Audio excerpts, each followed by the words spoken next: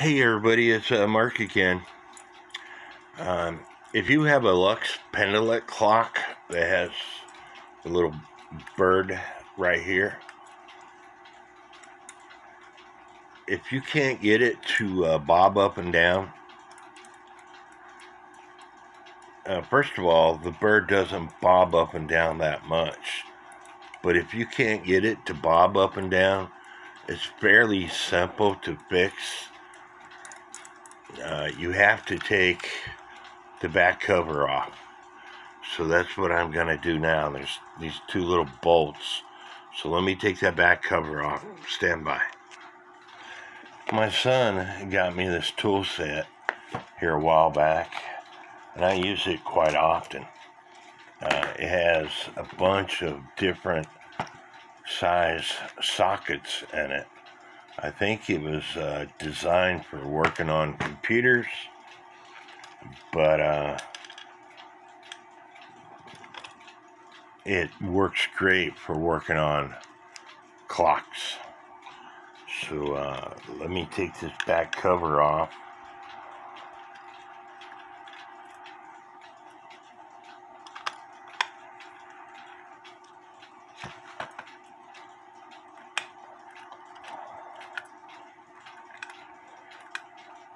Now you have to be careful to uh, get the pendulum out of that slot. You don't want that pendulum bent or it will not work on you. And as you can see, the clock is ticking away. Okay, but this bird, there's a lever on it this lever has to be positioned just right. You might have to uh, move the lever in and out. See, I, I'm moving it. And if your bird does not bob up and down, it's because this lever that I'm moving, this tab, is not in the right position. And it's not in the right position on the movement, it hits this section right here. As the clock ticks away, if I can get it to tick away here,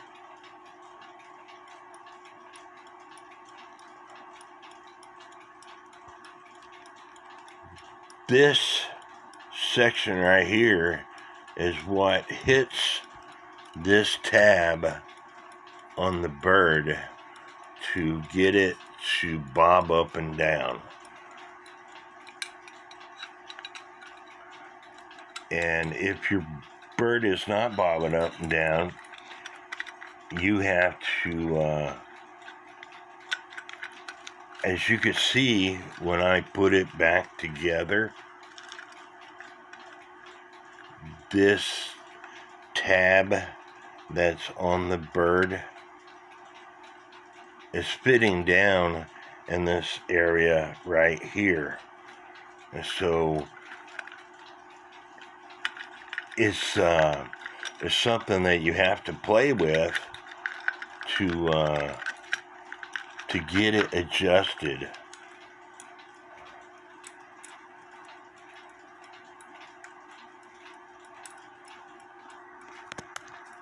As you can see, and like I said, it doesn't do that much bobbing because that tab is going, it's hitting that coil, uh, that gear that's bent. And so that is a simple fix. I hope this helps. Again, you have to sit there and adjust it if it doesn't work, push push this lever back,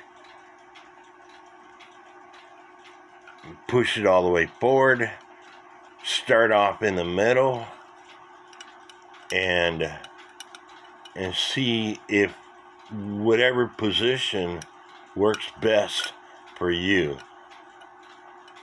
And if I got it forward like that, then the bird doesn't bob right.